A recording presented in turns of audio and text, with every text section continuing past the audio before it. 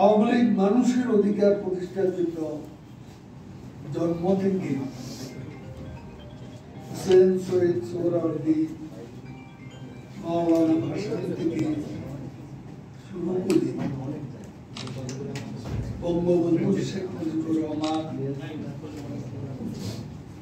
এবং আজকে বঙ্গবন্ধু কন্যা শেখ হাসিনা।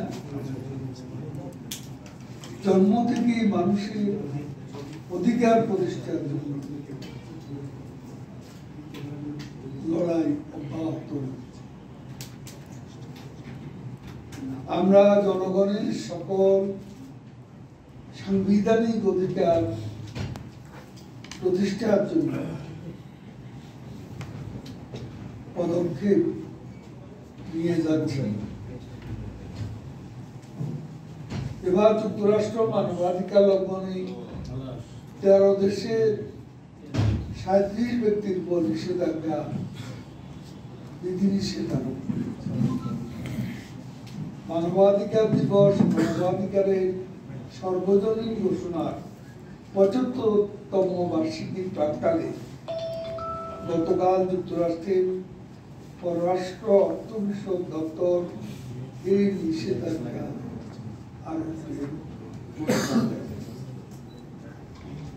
যে অপশক্তি গণতন্ত্র নির্বাচন প্রক্রিয়াকে বাধাগ্রস্ত করে বা করার প্রচেষ্টা করে। মার্কিন যুক্তরাষ্ট্র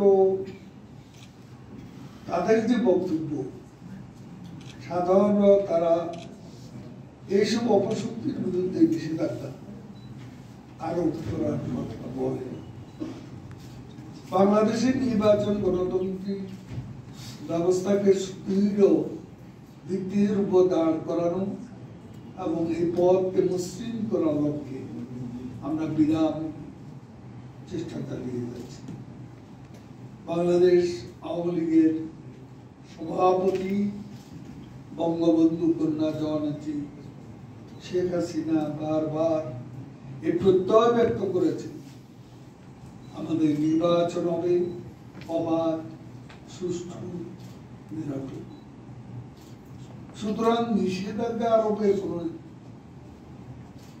কোন যৌক্তিক কারণ আমরা দেখছি।